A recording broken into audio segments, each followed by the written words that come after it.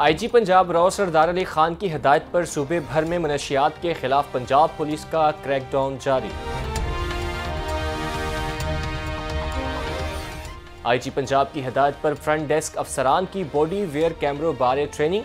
Punjab safe cities authority ने 50 front desk अफसरान को बॉडी वेयर कैमरों के इस्तेमाल बारे तरबियत दी।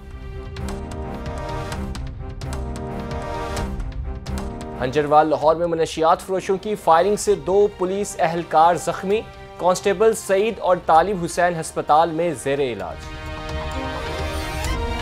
और पुलिस थाना सिटी साहिवाल की कार्रवाई। कहबा खाना में गैर इखलाकी सरगर्मियों में मुलविस नौ मुलजमान गिरफ़्तार। असलम सेफ़ सिटी टीवी के साथ मैं हूँ मोहम्मद फाइक। नज़र डालते हैं आज की आम खबरों पर।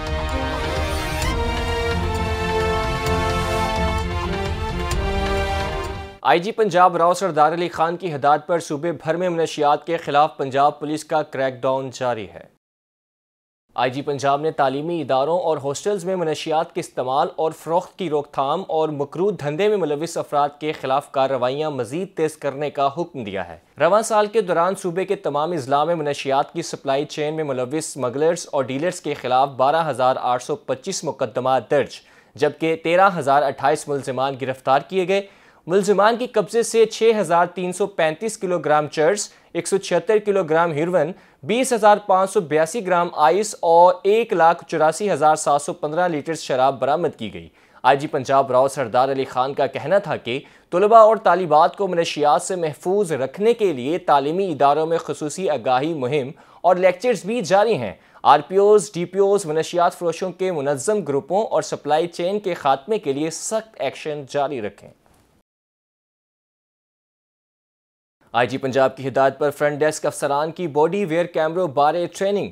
Punjab safe cities authority ने 50 फ्रंट डेस्क अफसरान को बॉडी वेयर कैमरों के इस्तेमाल बारे तरबियत दी है। बॉडी वेयर कैमरे फ्रंट डेस्क पर मौजूद अफसरान को फराहम किए जाएँगे। बॉडी वेयर कैमरे को सेफ़ सिटी स्क्रीन पर लाइव मॉनिटर किया जाएगा। थानों में आने वाले साइलिन से बर्ताव को बॉडी वेयर कैमरों के ज़रिए देखा जा सकेगा।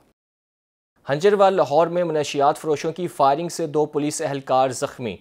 कांस्टेबल सईद और तालिब हुसैन हस्पताल में जेर इलाज हैं। पुलिस की जानब से बदनाम, ज़माना डकीत और मनशियात फरोश फैसल उर्फ़ फैशू की गिरफ्तारी के लिए शादी वाल में रेड किया गया था। रेड के दौरान कांस्टेबल सईद को एक, जबकि तालिब हुसैन को दो फायर लगे।